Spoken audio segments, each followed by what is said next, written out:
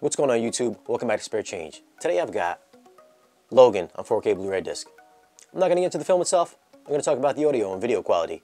Let you guys know if I think it's worth the pickup over the standard Blu-ray. But before we do that, let's unbox this thing and see what we get inside.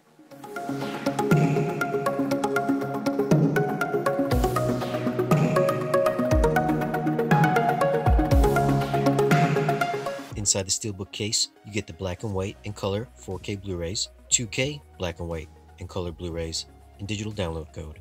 Alright guys, I just got done watching the film. Now for some quick tech specs. This film was shot on the Alexa XT cameras anamorphically at 2.8K, finished with a 4K DI. Runtime is 2 hours and 17 minutes long. Aspect ratio, 235 by 1. So if you guys are watching this on TV screens, you guys are to get the letterboxing on top and the bottom. For those with scope screens, projectors, you guys are good to go there. Now for picture quality. Even though this wasn't shot natively in 4K, there is a good amount of resolvable detail in pretty much every scene of this film. HDR also helps out here with great shadow detail. This adds a lot of depth and space to those small confined interior shots. Just have a look at Logan's black suit. On the 4K version, you'll be able to pick out the folds a lot easier over the muddied and flat standard Blu-ray. Close-up shots of Xavier and Logan's face can sometimes be disarmingly clear, they both look time and battle tested with scars and graying facial hair. This really adds to the grittiness look of the film. Skyline shots here as well have better color transitions from deeper blues and purples all the way to whites and deep nighttime blacks. HDR really helps out here. Colors tend to be a little bit more flatter looking, much more monochromatic looking in the standard Blu-ray.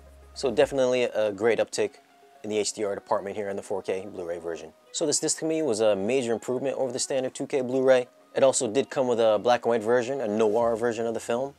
I did test out a couple of scenes and it, yes, it does offer a slightly different feel to the movie experience, but I'm not truly a fan of black and white because, um, I mean, let's face it, when Logan and Laura is going full on berserker mode, I kind of want to experience the blood and the carnage all in color. You kind of don't get that with the black and white version. But if you guys are a fan of black and white, let me know in the comments below how you felt about it. Now for audio quality, the standard 2K Blu-ray is in DTS HD 7.1. The 4K version is in Dolby Atmos. Now there are some well-placed ambient effects all throughout the sound field. There are certain times where it does kind of draw attention to itself. There may be a well-placed sound placed overhead, so kind of makes you look up. It's pretty convincing in that respect. Check out the scene at the hotel when Xavier is having one of his seizures. This scene here, lots of low rumble, lots of low bass, effects kind of swirling around the room. Great Atmos demo here. Dialogue is clear, well integrated, never gets lost in any of the action scenes or any of the mayhem. Bass is also present. It's never really overpowering, so if you're a bass head or a bass junkie, it's gonna come up a little bit short there in this department. So for audio, I'm gonna give this thing a 7.5. Video, 8.5. Definite improvement over the 2K Blu-ray. Now do I think it's worth a pickup over the standard Blu-ray?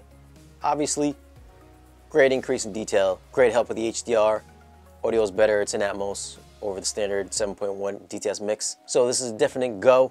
Pick it up in 4K. It's the only way to watch this movie. Now is this movie safe for kids? Absolutely not. Got people getting their heads chopped off, arms getting chopped off, people getting stabbed. You got swear words, rated R. Keep those kiddies away. Now if you enjoyed this video, don't forget to give us a thumbs up. If you hated this video, give us a thumbs up. If you like this movie, give us a thumbs up. Don't forget to follow us on social media, share, and don't forget to subscribe and we'll see you guys again in the next video.